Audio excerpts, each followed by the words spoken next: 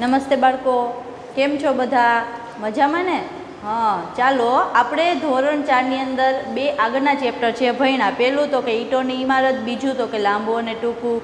અને હવે ત્રીજું છે ચેપ્ટર એ આપણે ભણવાનું છે. બરાબર? તો ત્રીજું ચેપ્ટર છે એ કયું છે? હા, ભોપાલનો પ્રવાસ. આની અંદર બાળકો, તમને છે ને શું શીખવાનું છે? તો કે આપણે વ્યવહારિક કોયડા છે, પછી તો કે સરવાળા છે, વદીવાળા, બાદબાકી છે, ભાંગાકાર છે, આવી રીતના વ્યવહારિક કોયડાની અંદર આપણે છે ભણવાનું છે. ચાલો, તો આપણે શું કરશું? તો કે પાઠની અંદર જાશું. તો કે સરસ મજાની વાર્તા રૂપે શું? તો કે તમને પાઠ છે આપ્યો છે. તો કે આજે સુગંધા ખૂબ જ ખુશ છે અને એમ કહે છે કે બધા બાળકોએ અને શિક્ષકો છે શું કરે છે? તો કે ક્યાં જાય છે તો કે પ્રવાસે જાય છે? અને એમ કહે છે, મીનાક્ષીબેન અને રાકેશભાઈ છે ચર્ચા વિચારણા કરે છે કે કુલ કેટલી બસની જરૂર પડશે? તો પહેલાં તો સૌપ્રથમ કેટલી બસની જરૂર પડશે? એ શોધવા માટે આપણે શું કરશું? તો કે ધોરણ કેટલા છે? તો કે પાંચ. જો અહીંયા ધોરણ એક, બે, ત્રણ, ચાર અને પાંચ. પછી એમાં બાળકોની સંખ્યા કેટલી છે? તો કે ધોરણ એકની અંદર તેત્રીસ બાળકો, બેની અંદર બત્રીસ બાળકો, ત્રણની અંદર બેતાલીસ બાળકો ચારની અંદર પચાસ બાળકો અને પાંચની અંદર ત્રેપન બાળકો. તો મિત્રો આપણે કેમ ખબર પડશે કે કેટલી સંખ્યા છે? હા, આ બધી બાળકો બધા બાળકો જે આપ્યા છે, એનો શું કરશું? તો કે આપણે એ સંખ્યાનો સરવાળો કરશું. ચાલો, તો આપણે સરવાળો કરીએ છીએ. કેટલા થશે? ત્રણ વત્તા બે, એટલે પાંચ, પાંચને બે, સાત, સાતને ત્રણ, આઠ નવ અને દસ. વધીવાળા સરવાળા છે, તો દસની શું આવશે? શૂન્ય. વધી પડી એક, બરાબર? તો હવે ત્રણ, પછી અહીંથી કરશું પાંચ, પાંચને પાંચ દસ, દસને ચાર ચૌદ, ચૌદને ત્રણ કેટલા થશે? હા, સત્તર. સત્તરને ત્રણ, તો કે વીસ. વીસને વધી એક છે, એની અંદર ઉમેરશું. એટલે કેટલા થશે? બસો દસ. કેટલા બાળકો થશે કુલ? બસો દસ બાળકોની સંખ્યા, બરાબર? આ તમારે લોકોએ શું કરવાનું છે? બાળકોની સંખ્યા છે એ શું કરવાની? તો કે યાદ રાખવાની. છે. આની પરથી શું તો કે બધા સરવાળા બાદબાકી અને વ્યવહારિક કોયડા છે એના જવાબ આપણે આપવાના હશે. બરાબર? ત્યાર પછી એમ કહે છે, જો નાનો એવો અહીંયા એક તમને પ્રશ્ન આપ્યું છે કે આપણે જો ચાર બસો લઈ જઈએ, તો એક બસની અંદર પચાસ બાળકો સમાય. તો એમ કહે છે કે તો કુલ કેટલા બાળકો સમાઈ શકશે?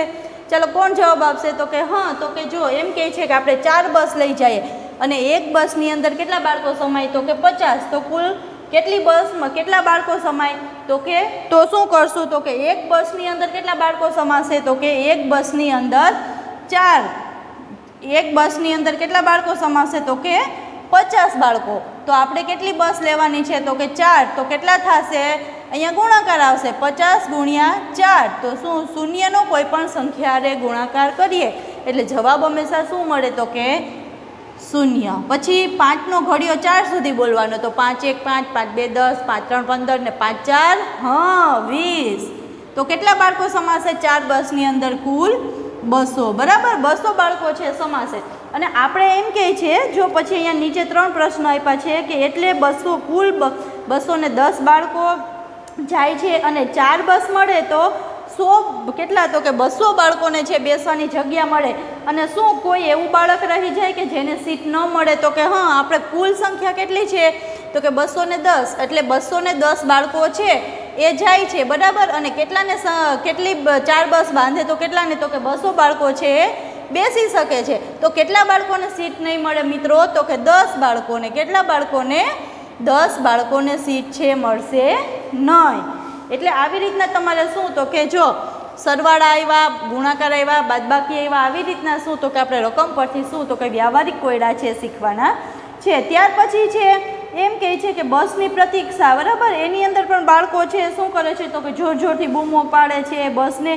શું? તો કે સીટ પાસે બેસવા, બારી પાસે બેસવા માટે. એના પછી જો છે, એમ કહે છે કે દરેક નાની બસમાં પાંત્રીસ વિદ્યાર્થી લઈ જશે, લઈ જઈ શકાય. તો કુલ કેટલી નાની બસ જોઈએ? તો કે દરેક નાની બસ આપી છે, બરાબર? એમાં એક બસની અંદર નાની બસ છે, તેથી કેટલા વિદ્યાર્થી સમાશે તો કે પાંત્રીસ વિદ્યાર્થી, વિદ્યાર્થીઓ. તો એમ કહે છે, કુલ નાની બસ કેટલી જોઈએ, બરાબર? તો આપણે વિદ્યાર્થીની સંખ્યા કેટલી છે? તો કે બસો ને દસ, એ યાદ રાખવાની. અને એમાં શું કરવાનું છે? તો કે એક બસની અંદર કેટલા? તો કે પાંત્રીસ વિદ્યાર્થીએ સમાય. તો આપણે કેટલી બસ જોશે? તો અહીંયા શું આવશે? એના ભાગ પાડવા પડશે. બસો ને દસ વિદ્યાર્થી છે એના શું? તો કે પાંત્રીસ પાંત્રીસ પાંત્રીસ એમ આપણે ભાગ પાડવા જોશે. એટલે એને ભાગ પાડશો એટલે શું થશે? તો કે ભાંગાકાર થશે. તો બસો ને દસ ભાંગા પાંત્રીસ. તો જો અહીંયા આપણે શું કરશું? તો કે બ, પાંત્રીસનો ઘોડિયો બોલવાનો. તો પાંત્રીસ એક, પાંત્રીસ, પછી આપણે અહીંયા ગુણાકાર કરતો જવાનો. પાંત્રીસ બે, પછી પાંત્રીસ ત્રણ, પછી તો કે પાંત્રીસ ચાર. એવી રીતના પાંત્રીસ છ કરશું ને તો છ પંચાને ત્રીસની શૂન વધી પડી ત્રણ. છ પછી ત્રણનો ઘડિયો છ સુધી બોલીએ તો ત્રણ છ કેટલા થશે? અઢાર, હા. પછી ઓગણીસ, વીસ અને એકવીસ. તો અહીંયા ભાગ કેટલાય હાલશે? તો કે છ એ. તો પાંત્રીસ, છ કેટલા થશે બાળકો? તો કે એક, બસો ને દસ. તો આપણે કુલ કેટલી બસ જોશે? નાની બસ આપણે બાંધશું અને એની અંદર એક બસની અંદર પાંત્રીસ વિદ્યાર્થી બેસી શકશે. તો બસો ને દસ ભાંગ્યા પાંત્રીસ કરીએ તો કેટલા આવશે? છ.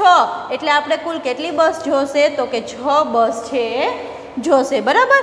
ત્યાર પછી છે, આવી રીતના એમ કહે છે કે હવે પાના નંબર પચીસ ઉપર કે હવે અંદરથી ઝડપથી આવી જાઓ. નવ વાગી ગયા છે. એ લોકો પ્રવાસની શરૂઆત કરે છે.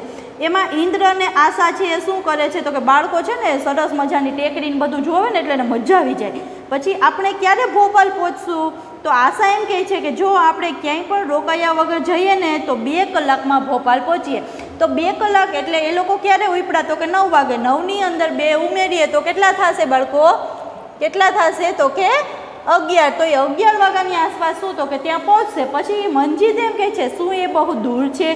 તો ભીમસેન એમ કહે છે કે, હા, સિત્તેર કિલોમીટર દૂર છે. પછી રૂબી એમ કહે છે, શું આપણે ક્યાંય ઊભવાના છીએ? તો રાકેશભાઈ છે એમ કહે છે કે હા, કદાચ અહીંથી ભીમબેટકા છે, નામનું એક સ્થળ છે, એ ત્યાંથી પચાસ કિલોમીટર થાય છે. તો એમ કહે છે ભીમબેટકા જાય તો ત્યાં કેટલા થશે?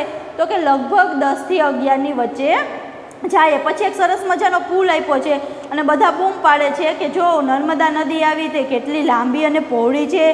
ચાલો એમ કહે છે કે એની આપણે શું કરવાનું છે? તો કે પહોળાઈનો છે અંદાજો લગાવવાનો છે. તો ગોપી એમ કહે છે, સો મીટર? તો કે ના, એનાથી પણ શું હશે? તો કે વધારે ન કહી શકાય. આપણે આગળ જોયું હતું ને કે એક મીટર બરાબર સો સેન્ટીમીટર થાય. એમ કે છે, અથવા તો અડધો કિલોમીટરથી વધારે.